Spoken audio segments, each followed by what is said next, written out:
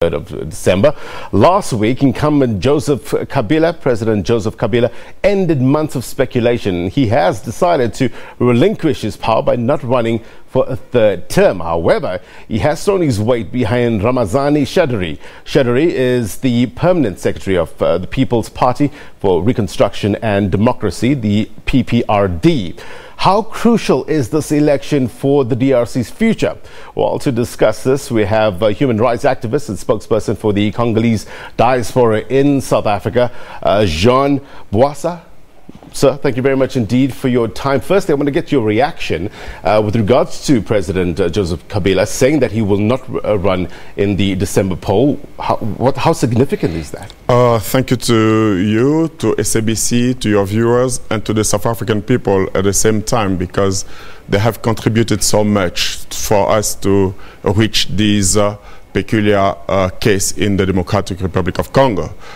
my sense today is the fact that it's happiness, first of all, because once uh, in our lifetime since independence, the Congolese people will have a former president because for years and for decades we have not had uh, a former president. They were either assassinated or they went into exile. So the very first sense is a sense of happiness mm. and appreciation for what Mr. Joseph Kabila, the de facto president, has done by relinquishing his way of not filing for president, mm -hmm. which he intended to do, but with pressure with uh, regard to the recent trip uh, of uh, His Excellency President Cyril Ramaphosa, mm who actually had to go and ensure that this election will really happen. That's my first reaction to your yeah. question would be that of appreciation, and that's what we are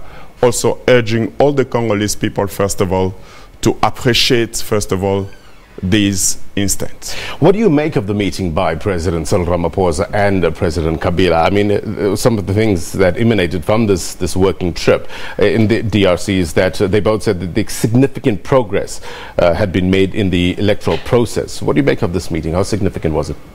Well, it is very important, that meeting, although it was a working meeting, because mm -hmm President, His Excellency President Cyril Ramaphosa, being the chairperson of the SADC, had a working uh, meeting with him yeah. to view some of the things bilateral relationship. But uh, with regard to the fact that on the day before, Mr. Kabila said that he would not uh, run for election again, I think it was very important for him to go and ask so that he would respect the constitution that I have here, which constitution you might know was signed here in South Africa in 2002 mm. uh, on the 17th of December. And this constitution actually said in its article that a president can only run for two terms. And uh, President Ramaphosa went there to, for those bilateral agreements and also to ensure that uh, his partner and counterpart will not run for elections, mm -hmm. but ensure that the elections will be credible, free, and fair. And that's what we are, although there are some shortcomings, but first of all, we are saying thanks to the President Cyril Ramaphosa to ensuring that the entire sub-region of SADC mm. would first of all find peace and stability that will ultimately yield to development. I want to look at some of the presidential candidates that have now emerged. Uh, someone that we spoke about in the intro, uh, Emmanuel Shadary, anointed by uh, Joseph Kabila as uh, the next president. Uh, what's his chances? Well, I wouldn't, I wouldn't know uh, because, you know, first of all, we are going to the poll democratically mm. for the first time since 2001 without Mr. Kabila. So how popular is he in the Congo? We live in the diaspora. I would say if we were to vote here in the diaspora, I wouldn't give him any chance. But because we are in the Congo and there are so many stakes at play, we wouldn't know.